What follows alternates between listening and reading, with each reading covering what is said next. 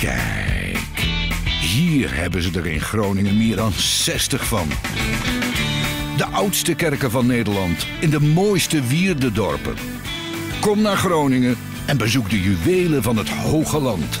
Je ziet het, er gaat niets boven Groningen.